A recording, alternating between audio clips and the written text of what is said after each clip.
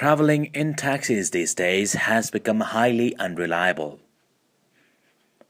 Taxi drivers in Kathmandu are known for meter tampering, earthing, and other manipulations to highly charge their passengers. In fact, most of the taxi drivers even refuse to go by the meter and they set their own rates to travel to a particular destination. Such a trend has forced many passengers to abandon taxis as their medium of transport altogether. Once built, we set out to test our application in the streets of Kathmandu. Since we wanted a road that was wide and free from unnecessary traffic jams and vehicular movement, we selected Koteshwar Chowk of Kathmandu Valley as the starting point to test our application.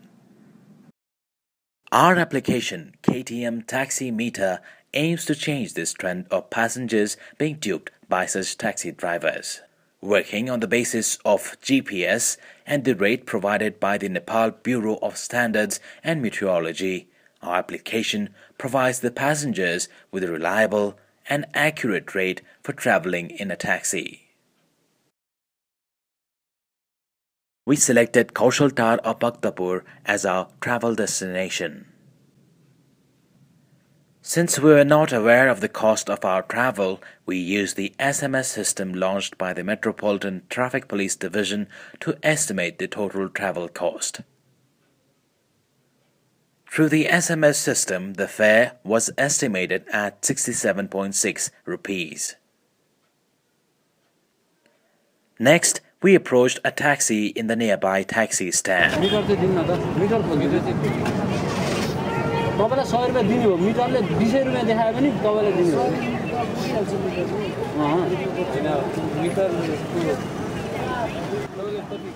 The driver of the taxi was not willing to travel by the meter.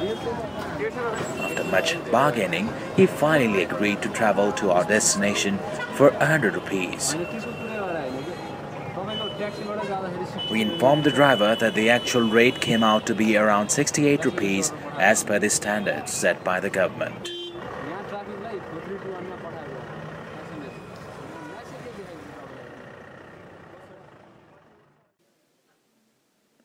Next, we started our application. As the application starts, the map of Nepal gets loaded. Once connected to the GPS, the map takes the user to the current location and shows the starting point as a green marker. We can see that the minimum charge in the application is set to 10 rupees, which is the same as in the taxi meter.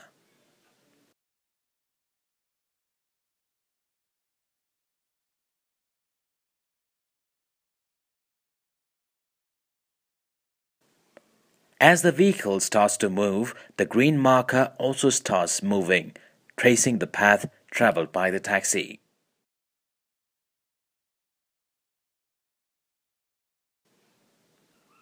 As we traveled, we noticed that the fare amounts in the taxi meter and our application are almost equal. Since our app ignores the time function of our travel, some fare difference can be seen between the fare readings shown by the meter and the app.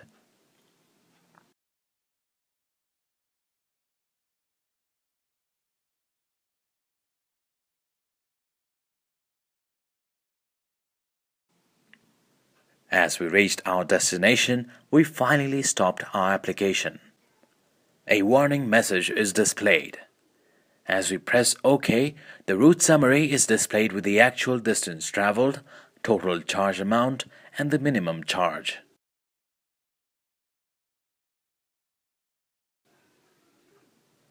The destination is pointed by the red marker. As you can see, the cost shown by our application is 69 rupees, which is the exact cost of travel without considering the time function.